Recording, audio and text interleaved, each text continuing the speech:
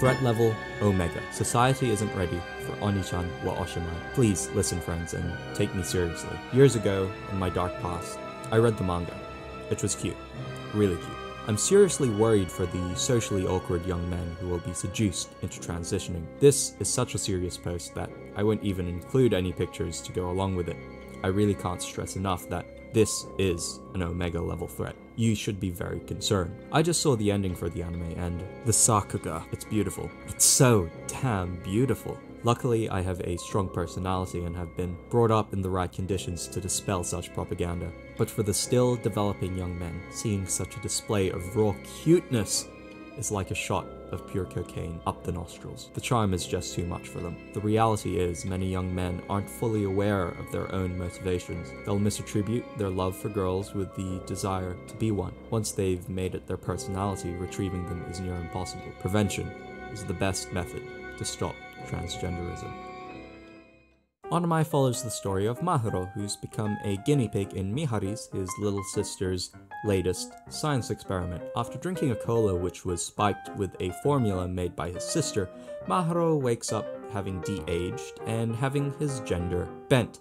And that's all you need to know about this anime's plot. It's meant to be a cute series of how this once adult man operates in his now neutered form, and it's as if we, the audience, are meant to sit on the sidelines and laugh at his expense. I know it sounds less cute when I frame it that way, but it's not too far a stretch to make. Further in the episode, we get more backstory about Mahiro and how he's kind of been overshadowed by his much more talented younger sister. And I should think this is the perfect demonstration of how some young men have been emasculated in modern society. And to Mento's point at the beginning, this is a reflection of modern attitudes not only towards but also among men. That there are men who aren't particularly successful due to a lack of positive male role models, a lack of conviction in themselves, and a lack of traditional values which grounds them in purpose. I do echo Mento's concern for the developing young men who watch this, then they may think to themselves, hey, I'm a guy who isn't very successful, I'm a guy who really does nothing except stay at home and play video games, and I'm a guy who looks at this cute lifestyle that women have. It's certainly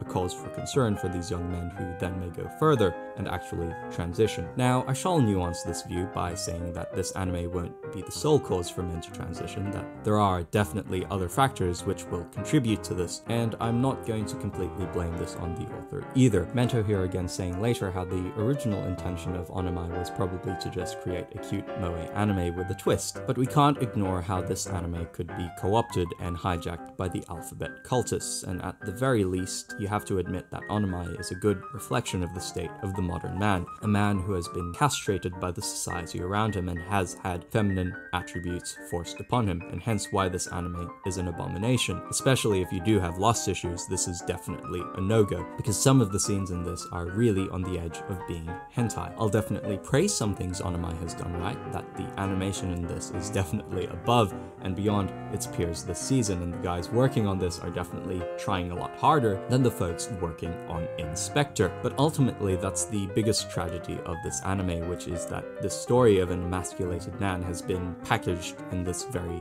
cute manner. On a final note, if you are a guy who feels as if you have no purpose, you have no hope, you have no future, I do want to tell you this. There's a better way. You don't have to become a woman. I want to tell you that despite your failures, despite your sins, that no matter how outcast you are, no matter what your past entails, there is a God who loves you so much more.